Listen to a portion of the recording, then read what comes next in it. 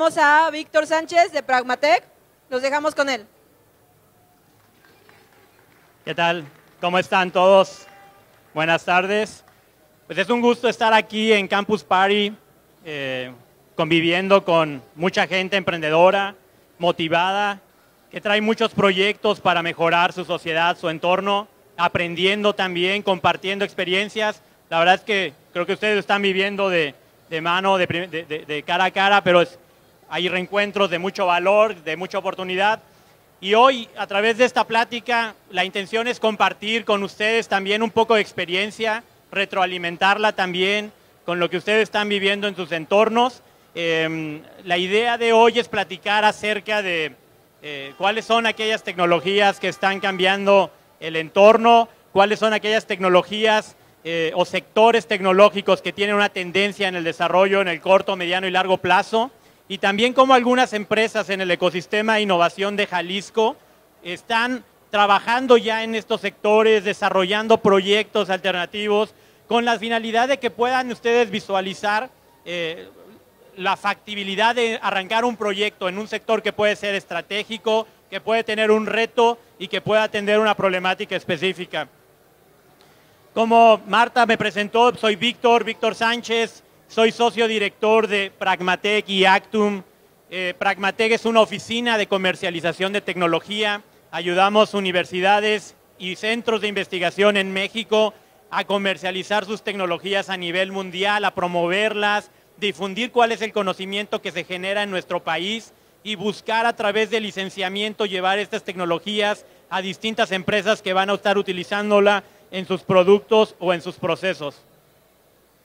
Actum es una empresa más enfocada a la gestión tecnológica que está trabajando sobre todo con pequeñas y medianas empresas, principalmente aquí en Jalisco, ayudándolas a definir o a validar el potencial de sus tecnologías haciendo estudios, sobre todo en la fase inicial de desarrollo tecnológico, que les permita ver el nivel de factibilidad técnica que sus proyectos tienen para no tener que pasar seis meses, un año y trabajando en un proyecto con sus colegas y sus socios y a lo mejor identificar que ya hay desarrollos tecnológicos existentes en otros países o similares al de ustedes y tener que volver a iniciar de cero. Esa es a grosso modo la, la experiencia que tenemos. Tengo 10 años trabajando en este sector, colaborando con diversas empresas en distintos sectores y ayudándolos con este ejercicio.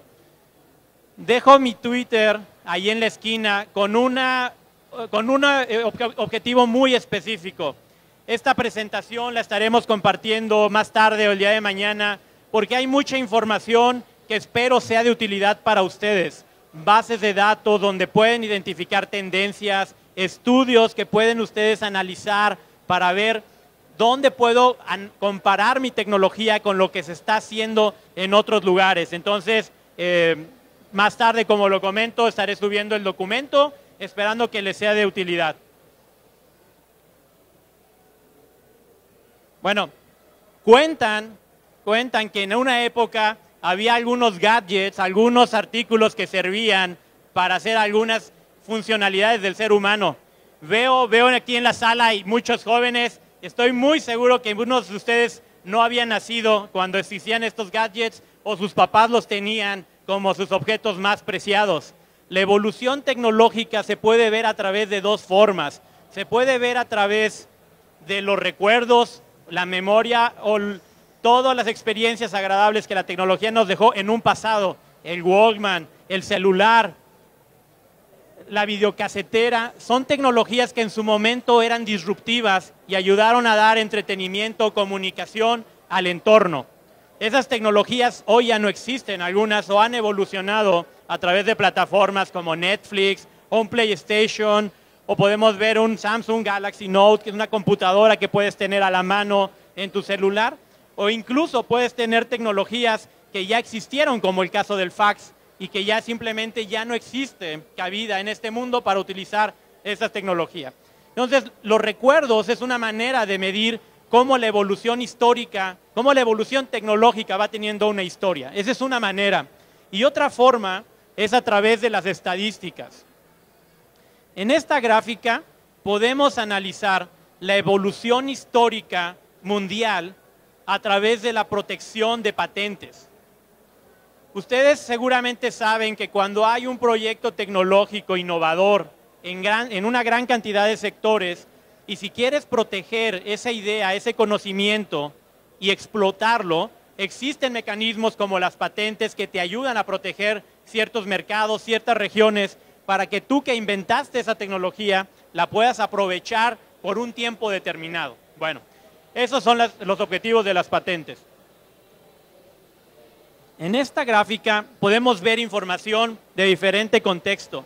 Podemos analizar cómo a partir de 1883 y hasta 1970 el desarrollo tecnológico llevaba una dinámica muy constante, liderada principalmente por Estados Unidos y Japón como países que crecieron en su desarrollo industrial a partir de las tecnologías que ellos mismos iban protegiendo.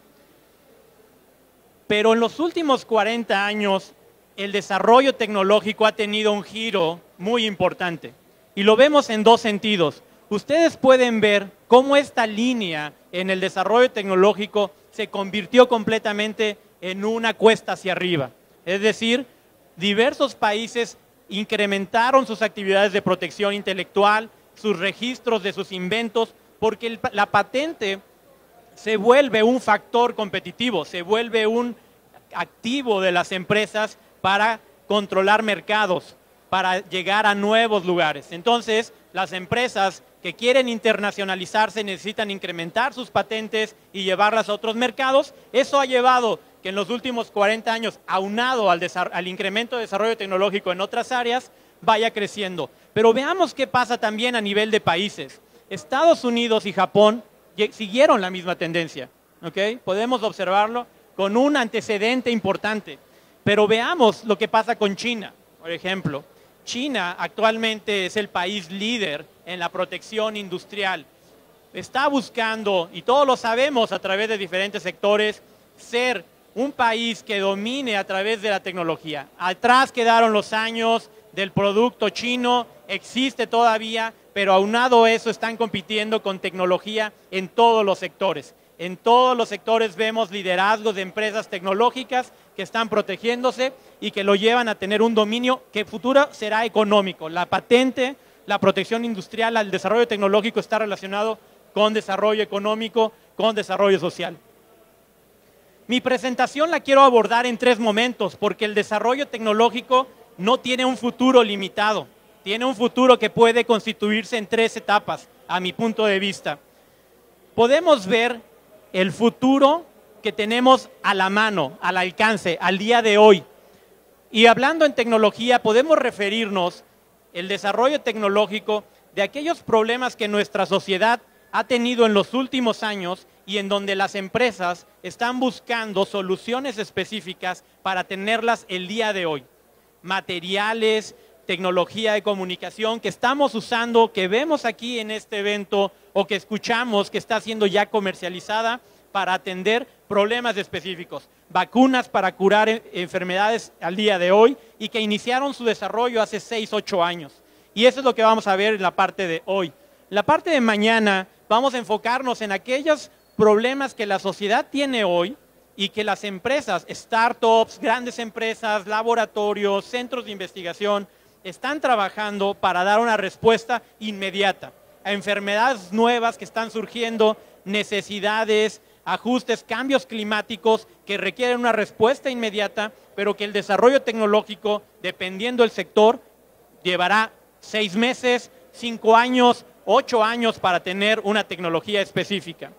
Y por último, el futuro, el futuro que es incierto, el futuro a largo plazo, en donde existen ejercicios de prospectiva que permiten pensar en cómo la tecnología evolucionará a más allá del 2030 y que dependerá mucho de cómo vayan cambiando nuestras características, nuestro, nuestra sociedad, etcétera. Y vamos a empezar justamente con esto, la tecnología del pasado mañana y avanzar a la tecnología del hoy. La tecnología del pasado mañana, la verdad es que estuve reflexionando cuál sería la mejor manera de presentarles las tendencias. Y la manera más práctica era traer fichas específicas de grandes inventos que nos pueden dejar con la boca abierta y decir, wow, ¿en serio? unas pequeñas partículas podrán entrar en mis venas y poder este, atacar células cancerígenas sin que tenga un tratamiento. ¿En serio eso es posible? ¿En serio es posible pensar que tendré eh, inteligencia artificial al alcance de mi mano? Bueno, podríamos pasar presentando ejemplos de algunos sectores, pero es importante también comentarles que una tecnología no hace una tendencia. Una tendencia es el conjunto de desarrollos tecnológicos que están respondiendo a un problema colectivo. Entonces preferí mejor presentarles a ustedes algunas bases de datos, algunas gráficas que focalizan en aquellos sectores que tienen una tendencia tecnológica más apuntalada o en donde se están desarrollando tecnologías. De ahí la importancia de compartirles el documento, porque algunas de estas gráficas son densas en información y no va a ser muy claro a simple vista analizarlas ahorita, sino después en detenimiento cuando estén en su casa revisando estas bases. Este es un trabajo serio desarrollado por el Imperial College London que aborda cuáles son las tendencias tecnológicas que habrá del 2015 al 2030 en cinco sectores. Cinco sectores que como veremos en otras bases de datos y en otras listas son muy comunes, están presentes porque son problemas constantemente identificados y que son tecnologías de información, cómo nos comunicamos, cómo intercambiamos información, cómo se comunican dispositivos, biotecnología, cómo hacemos que la naturaleza explote sus características o buscamos alternativas para responder a necesidades humanas, la nanotecnología, ¿no? Tecnología ah, en escalas muy infinitas, muy pequeñas que permiten hacer en conjunto o de manera aislada soluciones o energía. Estos cinco sectores son tendencia tecnológica. Podemos encontrar muchos ejemplos diversificados de proyectos que están siendo trabajados en centros de investigación a nivel nacional o internacional. Pero esos son los sectores. Les explico más o menos este laberinto que no tiene forma, ¿no? que no es muy claro, una disculpa, pero es muy grande también. Pero en su complejidad está su interés, está el elemento importante. Los cinco sectores de los que hablamos están al centro. Y conforme vamos expandiéndonos del centro al exterior, vamos identificando aquellas tecnologías por cada sector que son reales, que son existentes al día de hoy o que estarán haciéndose aquí a los próximos dos años. El segundo bloque de círculos vemos aquí presente, aquí vemos probable, serán aquellas tecnologías que estarán desarrollándose en estos sectores en los próximos 10 años, próximos 15 años.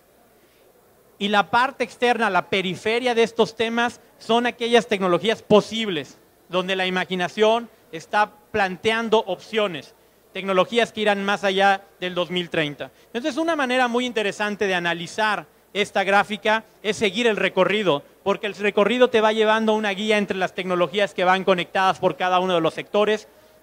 Pueden profundizar después en la liga, entrando a la página donde está esta base de datos para ver qué se está trabajando de manera específica. Vamos a ver algunos casos específicos de tecnologías disruptivas más adelante, pero este mapa creo que es muy útil de estudiarlo a detalle. Trabajos sobre innovación y, y mm, tendencias tecnológicas están siendo realizados en diversos lugares, sobre todo para comunicarnos qué es lo que está habiendo como respuesta a los problemas de la humanidad. Este es otro trabajo muy interesante enfocado a un solo sector, al sector de salud. Y aquí podemos ver cómo es muy importante la colaboración entre actores. Los problemas existen para todos, pero los recursos son limitados. Entonces hay algunas organizaciones que trabajan en conjunto para buscar conectar investigadores, gente que tiene el conocimiento con gente que tiene los recursos.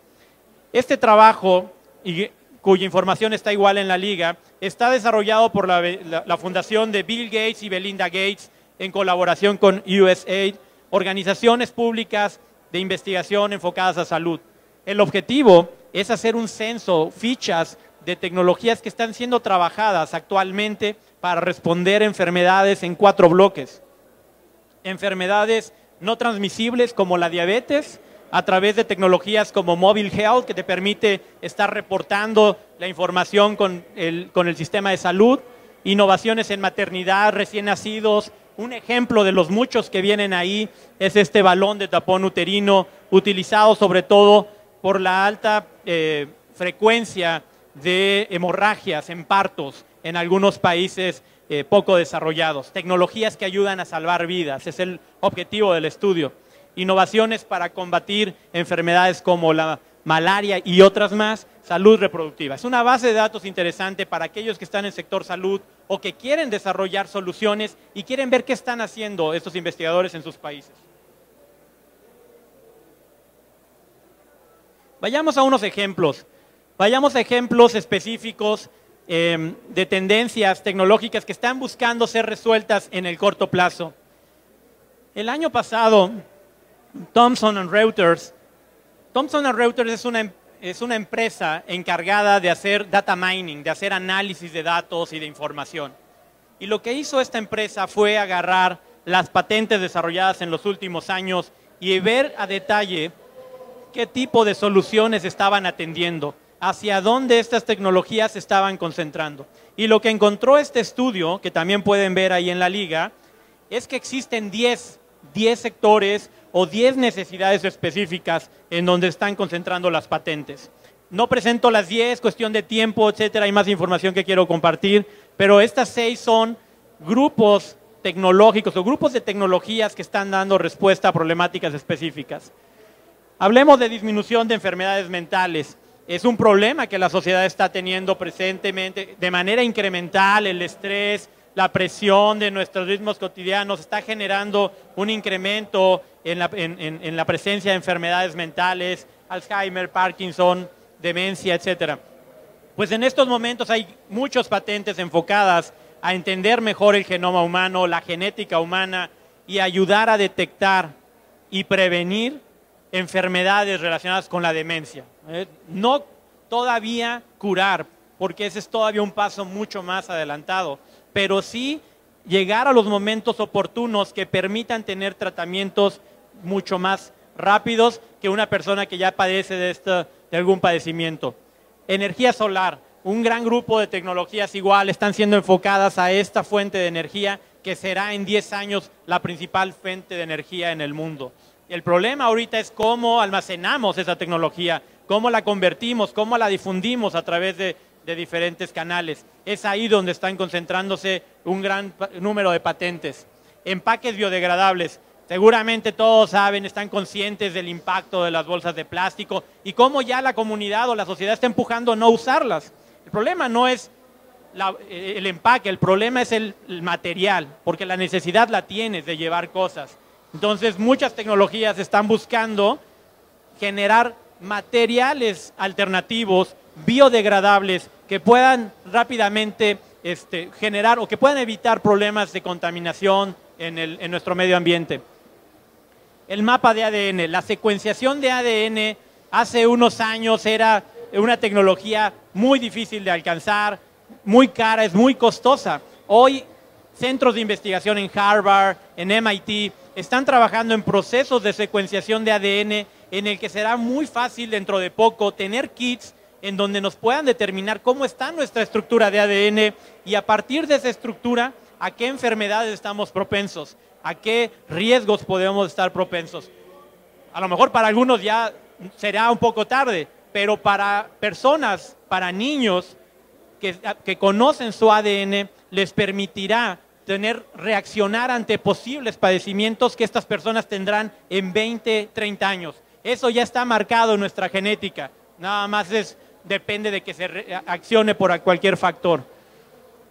Eh, tecnologías para ayudar a modificar mediante genética humana, ingeniería, plataformas de ingeniería en genética humana que permitan modificar un poco nuestro ADN y evitar eh, eh, aquellos genes responsables de enfermedades como la diabetes. Todos somos conscientes del impacto que tiene la diabetes en nuestra sociedad, ¿no? en México, en Estados Unidos.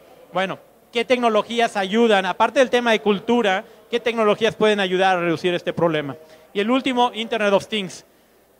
Un sector de amplio, con una tendencia muy importante, todo va a estar conectado en, en el futuro, todos nuestros dispositivos, mi celular, con el auto, con el refri, con la tele, etcétera. Bueno, las tendencias va hacia allá, los dispositivos conectados que nos permitan tener una interacción hombre-máquina mucho más efectiva. Son ejemplos, son tecnologías que ya existen y están desarrollando. Es el, el primer bloque que presentamos y ahora hablemos un poco de aquellas tecnologías del mañana, aquellas tecnologías que están respondiendo a los nuevos problemas de hoy y que están buscando solucionar en el corto plazo estos problemas.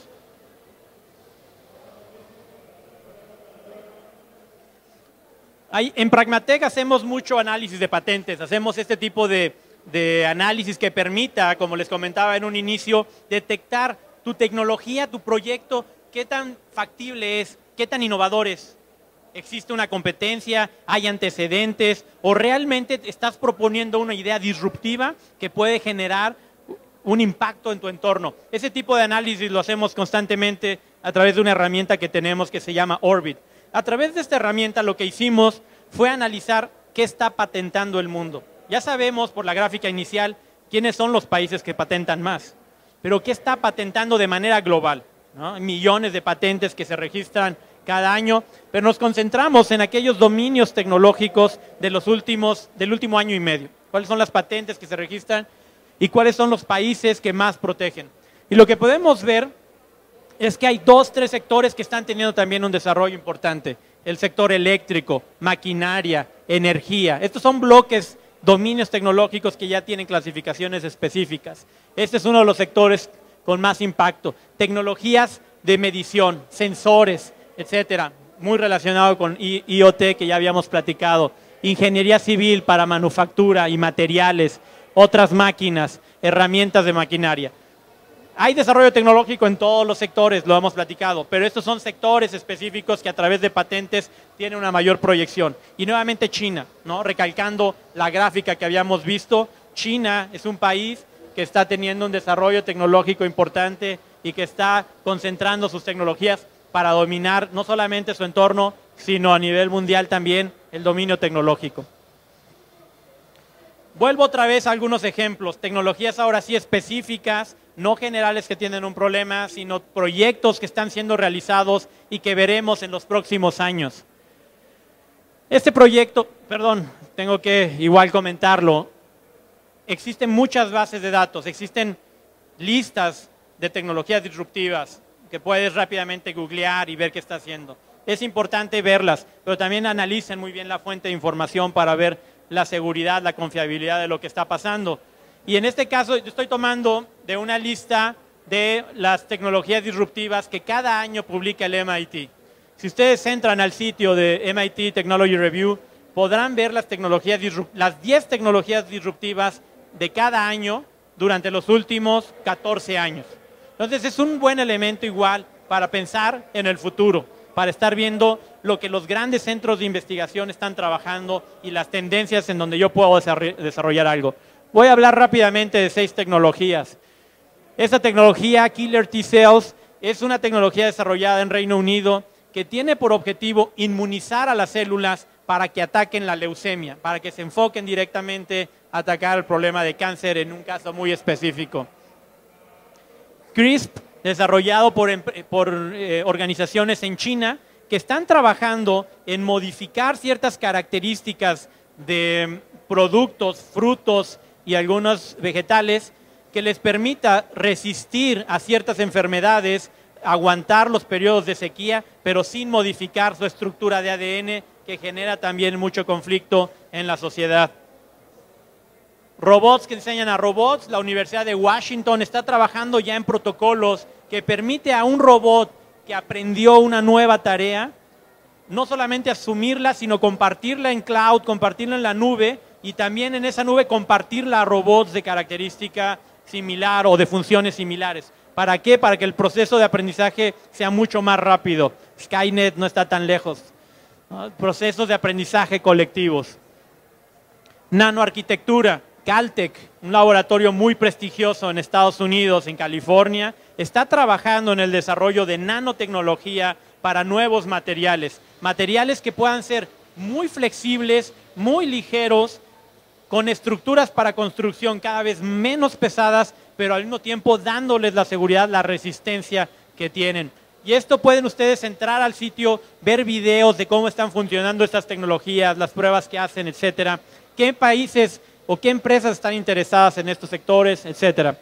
Fotosíntesis sobrecargada con el C4 fotosíntesis, que está trabajando, es, un grupo de investigación de ocho países que están concentrándose en recargar o sobrecargar el proceso de fotosíntesis con dos objetivos. Hacer que los cultivos produzcan o tengan una mayor producción por hectárea, un mayor rendimiento por hectárea y que también tengan la posibilidad de acelerar los tiempos. Son tecnologías que ya están en laboratorio y que ya están trabajando. Y POWIFI también, una tecnología que ya se empieza a escuchar, que posiblemente no sea tan largo plazo, pero que te permita sobre todo recargar ya los dispositivos, este, los dispositivos electrónicos a través de antenas Wi-Fi sin tener que conectarnos. Son ejemplos de varias tecnologías que pueden encontrar en esta base de datos. Otro reporte, en este caso del World Economic Forum, enfocado a aquellas tendencias tecnológicas que los expertos consideran estarán solucionadas en el corto plazo. Y este estudio es muy interesante. El Foro Económico Mundial cuestionó a 800 expertos tecnológicos y le dijo, mira, estas son tendencias tecnológicas que van a pasar. Sabemos que va a pasar esto, lo que no sabemos es cuándo va a llegar. ¿Cuándo consideras que la, sociedad estará ya utilizando estas tecnologías, así como tenemos un smartphone en el pantalón? Y los expertos, a través del conocimiento que ellos tienen en sus áreas, establecieron estos horizontes de tiempo. Ellos consideran, en promedio, en 2022 ya habrá un trillón de dispositivos conectados a través de Internet of Things. Ya habíamos comentado previamente de esta tendencia. Wearables es otro, otra tecnología, otro sector que está siendo muy desarrollado, que todavía eh, está en, una fase experimental, pero que ya empezamos a ver prototipos en mochilas, en chamarras, en pantalones, en ropa, que comunica, se conecta a Internet y genera información. 10% de la, de la población tendrá eh, ropa que se comunique con Internet en 2022. Impresión de órganos, impresión de órganos del cuerpo humano a través de, impresión 3D. Actualmente la manufactura aditiva ya no es una novedad, pero está siendo utilizada principalmente para manufactura.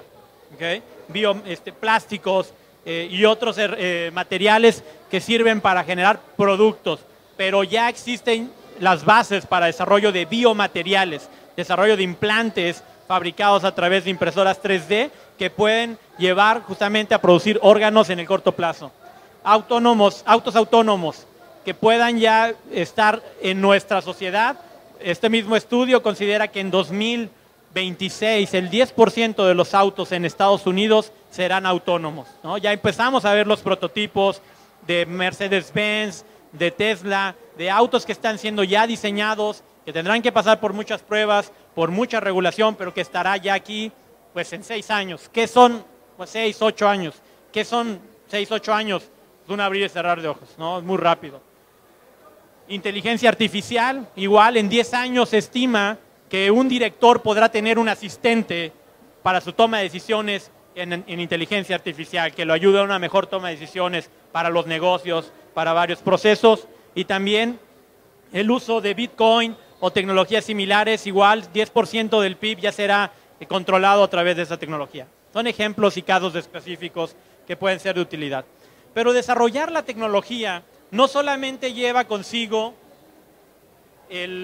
la emoción de responder a una problemática, el, el orgullo de generar un producto nuevo, la satisfacción de estar generando o estar siendo disruptivo en un sector.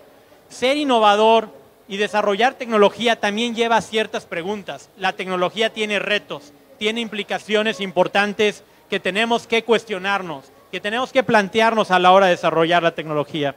Y platicando con algunos amigos, colegas del ecosistema de innovación, salían estas, estos retos de manera constante, estas preguntas que debemos hacernos a la hora de pensar tecnología. No porque no debamos hacer tecnología, sino porque tenemos que pensar en los efectos que esta tecnología traerá para el futuro. Tenemos que visualizar si es más beneficio que perjudicial.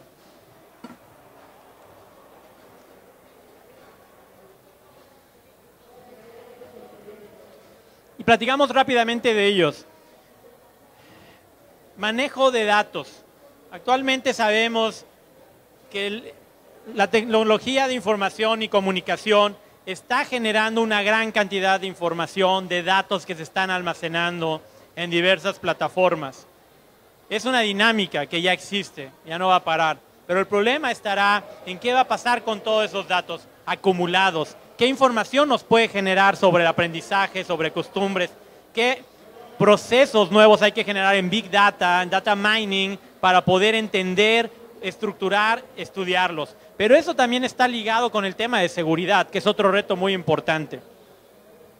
El hecho de que a través de un hogar conectado en su integralidad con dispositivos médicos, a mi celular o a mi computadora o una computadora central que almacene toda esa información, lleva implícito un riesgo también para los usuarios. Es decir, ¿de qué manera tendremos que desarrollar tecnología, protocolos de seguridad que permitan a los usuarios estar interactuando con sus dispositivos sin poner en riesgo su seguridad? Y ese es un tema importante. Trabajo humano versus robótica. La, robótica está desarrollando cada vez más funciones, inteligencia artificial, actividades que realiza el ser humano. Eso llevará implícito el reemplazo del trabajo, de la fuerza humana. Y eso no debe verse como un problema en sí, porque es una realidad, es una dinámica y no la vamos a parar. La revolución industrial hace 200 años hizo lo mismo y no cambiamos en nuestros procesos. Lo que habrá que diseñar son los nuevos empleos, las nuevas competencias que tendrá que hacer el ser humano para generar empleos, ¿no? Y no generar un problema de desempleo que impresione, que, afecte a nuestras sociedades. Ética. Hablamos de manipulación de nuestro ADN. Hablamos de nuevas plataformas de ingeniería humana. Hablamos de impresión de 3D. ¿Hasta dónde puede llegar la tecnología? Solo la imaginación pone límites es, muy fácil, es, es, factible pensar que se puede fabricar una mano en 30 años. Sí. Entonces es factible pensar que en un futuro muy cercano se pueda fabricar un humano completo en 3D. ¿no? Bueno, ante esas realidades, nuevamente, ¿qué cuestiones se planteará la sociedad? No para detener la evolución tecnológica, sino para adecuarla a nuestro beneficio. Y eso está muy ligado con la filosofía.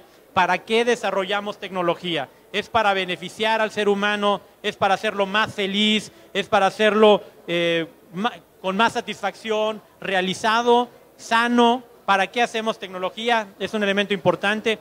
Y finalmente una pregunta más práctica. ¿Hacia dónde? ¿Cómo facilitamos la transferencia efectiva de la tecnología?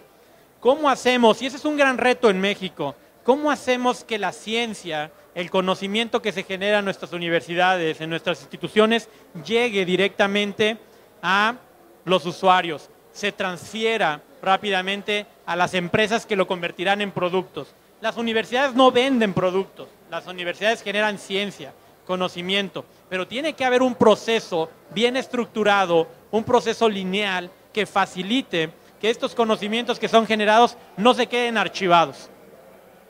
Quizá ustedes no lo sepan, pero en México hay, un gran, hay una gran cantidad de activo intangible guardado en archivos. ¿Por qué? Pues culpables puede haber muchos, es una realidad. Muchas veces hacemos tecnología sin medir si será factible, sin evaluar si habrá una empresa interesada en hacerlo entonces, a la hora que ya termino mi prototipo, mi proyecto y lo quiero vender a una empresa, no tiene cabida o llegó muy tarde. Me pasé años investigando, mejorando mi tecnología, perfeccionándola. Cuando creo que está listo, la ventana de tiempo se acabó. Entonces tenemos que acortar estos periodos, tenemos que hacerlos más factibles. Y ahí ustedes tienen una gran responsabilidad. Ustedes serán los próximos emprendedores, generarán las próximas empresas y tendrán que desarrollar y ya se están desarrollando competencias que nuestras generaciones no teníamos tan fácilmente, como es la vinculación. Ahora el trabajo multidisciplinario, el trabajo colectivo es fundamental. Y Campus Party es un ejemplo, con los hackatones, con las comunidades emprendedoras. Trabajar de manera colectiva soluciona más rápido los problemas, integra a diferentes personas, lo hace más fácil y eso evitará que tengamos problemas como en transferencia tecnológica. Pasemos al último bloque. Ya se van, ya es lo más emocionante. El último bloque es la transferencia de hoy. ¿Qué está pasando el día de hoy? Y no vamos a hablar tanto a nivel mundial, también hablemos un poco de manera particular qué está pasando en México. No, es broma, ¿eh? Tienen que irse. ¿Qué está pasando en México? Pues vamos de nuevo a nuestra gráfica para ver igual a nivel de patentes, qué se está protegiendo. Y vemos aquí, por ejemplo, que la dinámica mundial no la estamos siguiendo. O sea, no estamos invirtiendo en los mismos sectores. Igual es un tema de capacidades, igual es un tema de competencias, igual es un tema de contextos. Pero en México estamos mucho más concentrados, o las empresas que desarrollan tecnología y que la protegen, se concentran más en farmacéutica, se concentran más en química orgánica, se concentran más en materiales, biotecnología. Esa es donde se está desarrollando cada vez más, no se está desarrollando más, se está, se está concentrando más la tecnología. Pero hay algo interesante en nuestra gráfica de al lado, porque a lo mejor alguno de ustedes, si, recuerda la gráfica anterior, pues pensaría que el país más marcado tendría que ser México, ¿no? Si estamos viendo lo que se está protegiendo en México, ¿por qué México no tiene un color más oscuro? ¿Por qué México no tiene un liderazgo tecnológico? Porque resulta que en nuestro país, donde se registran 16 mil patentes al año en promedio, solo el 7% de las tecnologías son hechas por mexicanos. Entonces, son empresas internacionales, son grupos de investigación que a la hora de proteger de manera global, protegen a México. Somos 120, 125 millones de habitantes. Sí es cierto que hay 50% en condiciones de pobreza, pero otro 50% tiene condiciones económicas distintas. Es un mercado rentable, ¿no? Mi abuelo decía, pobres, pero todos comemos. Entonces, finalmente hay necesidades que las tecnologías atienden. Entonces, muy importante ver cómo vamos, qué podemos hacer para revertir esta tendencia, para incrementar la tecnología Made in México y poder llevar este porcentaje, no solamente tecnologías protegidas en México, sino tecnologías que tengan un impacto regional. ¿Qué se comercializa en México? ¿Qué sectores están siendo más desarrollados? Ya lo vimos a través de las patentes, ¿recuerdan? Farmacéutica, química, etcétera. Pero si lo vemos a través de dónde están invirtiendo los venture capital en México el día de hoy, podemos observar que sectores como software, como retail, como fintech, son aquellos sectores en donde los fondos de inversión privados están apostando más. Este es un estudio desarrollado por AMESCAP que evalúa la tecnología, los, evalúa los fondos de inversión y los financiamientos que dieron del 2000 al 2015 y ahí podemos ver en dónde están concentrando. La gráfica de al lado permite analizar en qué etapa están apostando estos fondos, si están apostando en empresas startup, si están aportando en empresas ya escaladas. Lo que sí no vas a encontrar aquí son empresas que estén apostando a ideas. Venture Capital no va a apoyar ideas. Ahí viene el riesgo del inventor, ahí viene el riesgo del socio inversionista que lleve sus ideas a otra, a otra etapa donde los fondos de inversión podrán tomar ya este, ese apoyo secundario. No es el objetivo de la plática, pero es importante conocer este contexto. Fintech.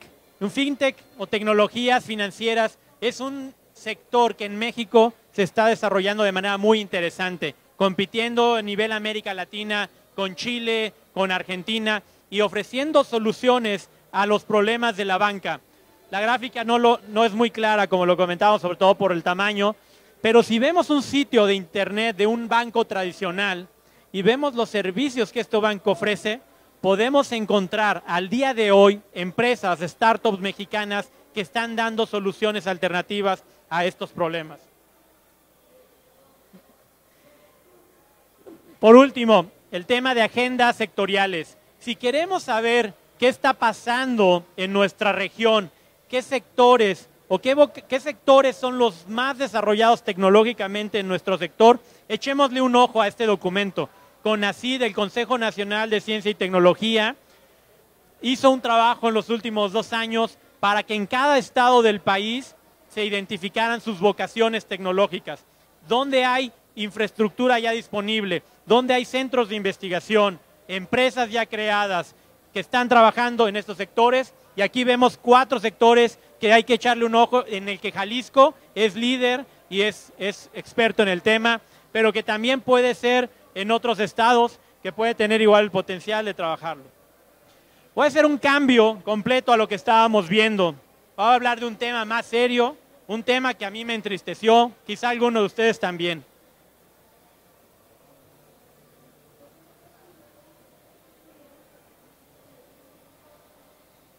¿A quién, no le, a quién le entristeció este, estas noticias? ¿A nadie?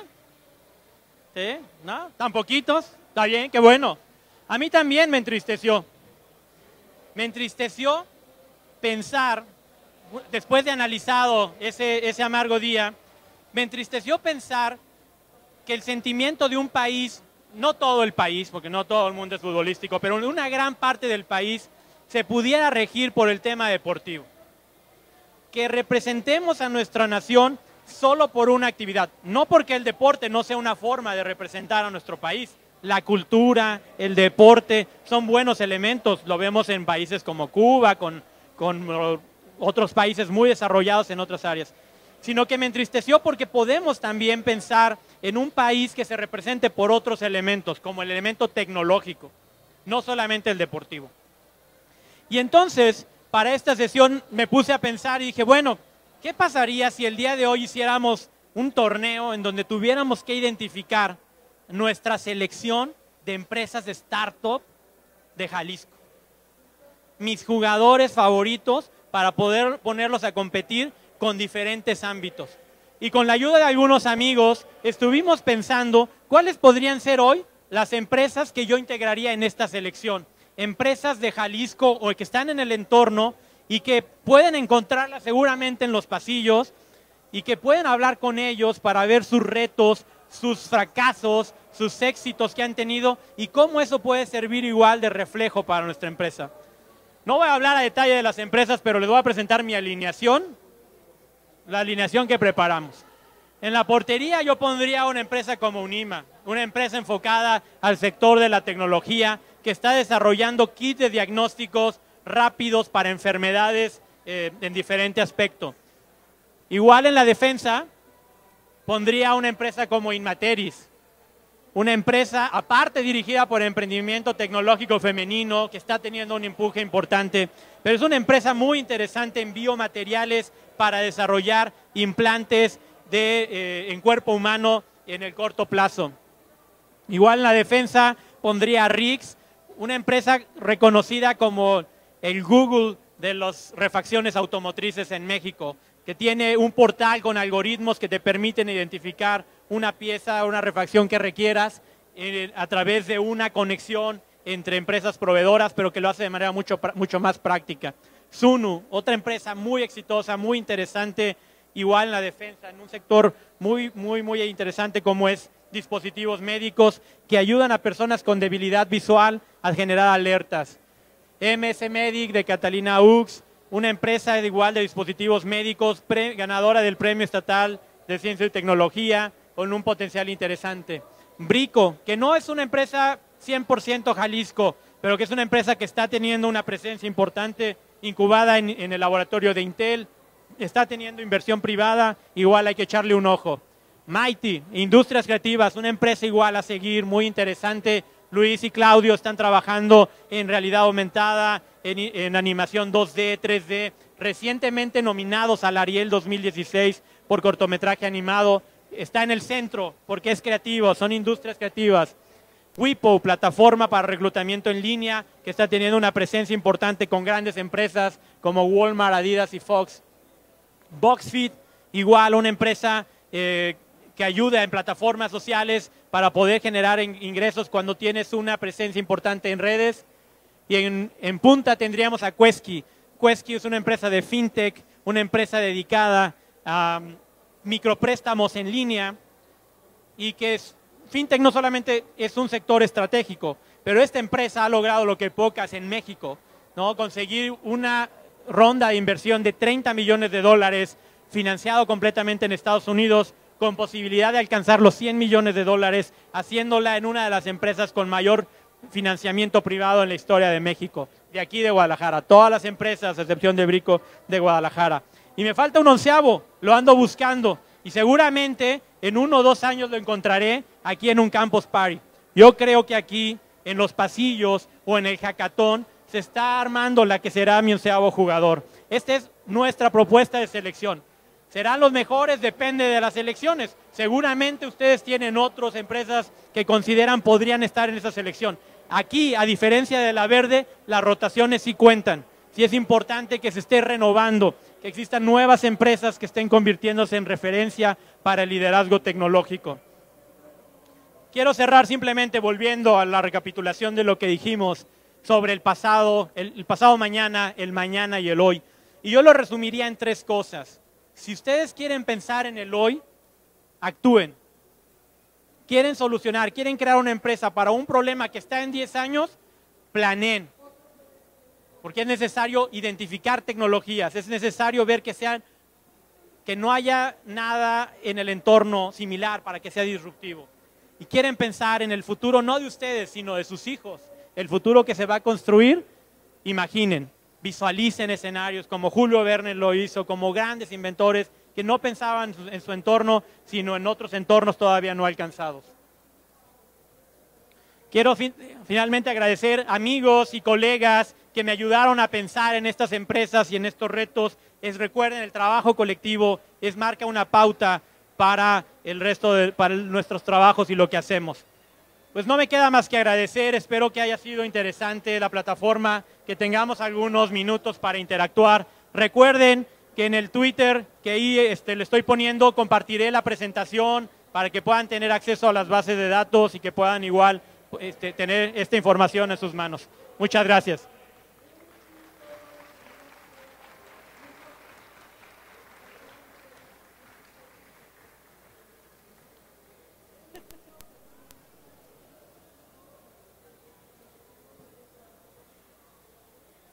Si hay preguntas, tenemos 5 o 10 minutos disponibles, por supuesto.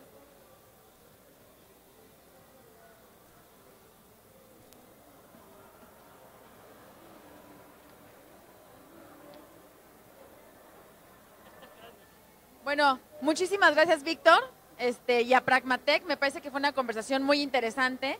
Este, seguramente como bien dices, de este campus y de varios eventos que estamos haciendo en México, vamos a poder tener a los nuevos emprendedores.